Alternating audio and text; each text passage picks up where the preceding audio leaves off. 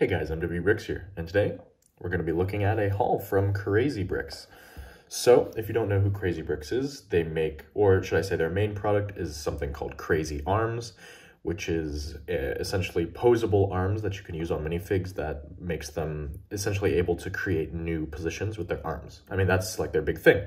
So, let me get it poured out. So I got three badge bricks just because they're pretty awesome. You can see they're kind of, I guess it's puff printing, you would call it. I don't really know exactly what you would call it. I think actually Eclipse Grafx printed them. But anyways, here is what we got. So let's have it focus. Here we are. So I don't exactly, I got this a few days ago and I took it out of its packaging. So oh, those binoculars are obviously not from them.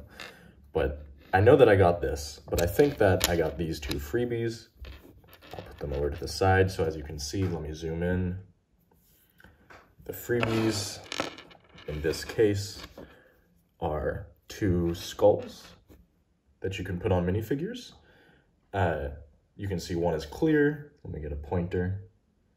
Uh, pardon my delay you could, here's the brown one and here's a clear one, and I got this one.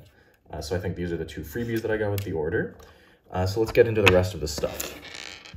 So I got a lot of these arms. And so what you can see here is that these are Lego arms or, you know, they're custom Lego arms, but they fit into the Lego armholes. Uh, let me just get all of them out so you can see them. Almost there. We're almost there. Promise. So, as you can see, these are all the Lego arms that I got in a variety of colors. Let me get a minifig. I don't know where, I swear I had one already to use, but uh, here, I can use this one. So, here we have a minifig. Uh, let's put on something non-shiny so it's not annoying. Okay, so here's our minifig. I'm gonna take off his arm. I'm going to put the hand onto the crazy arm. There we are. And then I'm going to put it into the regular arm slot. And there you go. So as you can see, let's see if it'll focus. As you can see, the crazy arm is like, you know, it, it's opposable. So essentially what this type of arm, the one that he currently has, you would use it for, is either holding a gun against his body or maybe he was injured, so he's like falling backwards. That's what this is simulating. But essentially these arms just open up a lot of possibilities. Uh, I'll put in the other one so that you can see. It's essentially just one that would be pointing. Uh, I'm not going to put in a hand, but you can see what it does. It's pointing. Uh, and I got the same stuff just in a bunch of different colors. So, you know, that is exciting. Uh, I think that these really offer a whole nother layer that you go into, that you, or should I say, that you can go into with your MOCs, uh, just because it allows you to control more precisely how people's arms look.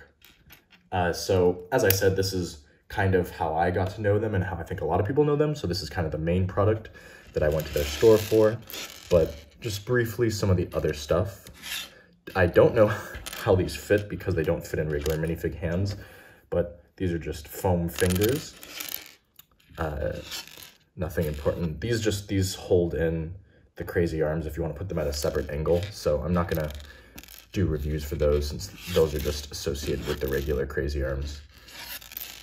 Uh, and then I do have a few other things, so bear with me. I know there's a lot of sorting that you're seeing fly across the screen. So the next thing that I got was a chrome version of a BrickArms, I believe it's the Luger. So let me put it in a minifig. And let's get it to focus. There you go, as you can see. I think that this will just be kind of fun, you know, to throw on World War II MOCs and just pretend that someone had, you know, a chromed out weapon. So I think that's just a little fun. And then I also got these bows. So actually something that you can do, let's see if I can set it up. I don't know if I left, I don't think I left the hand in one of the crazy arms. So here, I'm gonna set up these bows for you. Let's get it to focus so it doesn't look strange while I'm doing this behind the scenes. And I'll show you kind of how crazy arms can be used.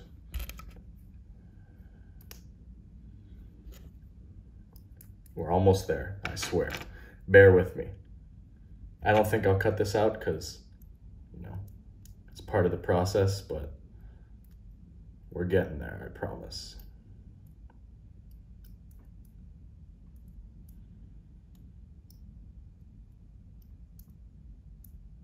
So this is obviously very quickly, I didn't do it entirely correctly, but this is the idea that they have with Crazy Arms is that you can make it, you know, these, their arms go into more realistic positions. Like, you know, see he's pretending to notch back an arrow.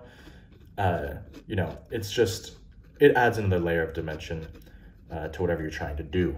So those are the bow and arrow along with the use of the normal crazy arm, as you could see. And then finally, I got these books. I actually got a third, let me put it out here. Don't really know why, but they seemed cool. I mean, you can open them and then I think that what you would do is you would print something. Let's see if it'll focus.